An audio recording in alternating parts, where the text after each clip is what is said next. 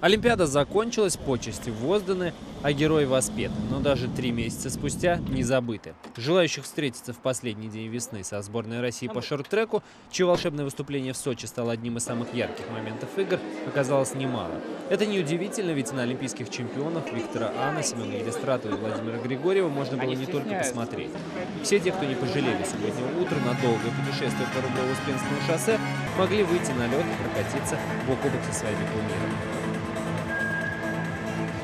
кумирами. Просто огромное спасибо организаторам этого замечательного мероприятия, потому что, не знаю, все супер, все замечательно, все прошло очень круто. Это нужно, это все делается для детишек, для развития и популяризации нашего вида спорта. Знаете, вот лично для меня, и не только для меня, я думаю, то, что многие спортсмены по команде со мной соглашаться, если мы что-то можем после себя оставить, то значит мы в спорте не зря. Если мы как-то можем популяризовать спорт, и если мы можем как-то своими результатами оторвать детишек от улиц, от телевизоров, от интернета, чтобы они шли, занимались спортом, как-то развивались, то это, я думаю, для нас намного дороже любой олимпийской медали.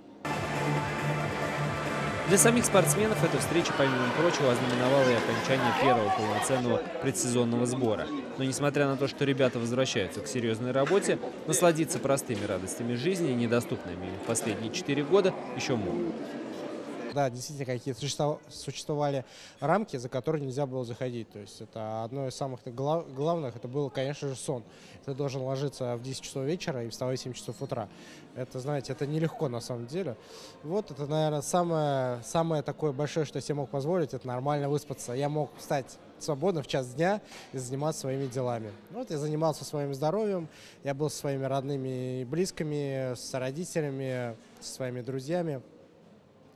Вот был дома, никуда не ездил, так и отдыхал. А вот Виктор Аны после шести золотых олимпийских медалей, судя по всему, продолжает получать удовольствие и от самого шорт-трека. Так что поводы для подобных встреч еще обязательно будут. Спрашивали до Пьончана, зимних олимпиад, которые будут в Пьончане, я останусь, но 4 года это достаточно длинный срок, поэтому я не знаю, для меня сейчас самое главное это э, в хорошей форме участвовать на чемпионате мира, который пройдет в следующем году, и мне кажется, вот в дальнейшем нужно будет смотреть уже, как я буду себя чувствовать, а сказать, что я буду до Пьончана, это пока в данный момент это сложно. Игорь Арапетов, Сергей Соловьев, Александр Александрюк, НТВ+.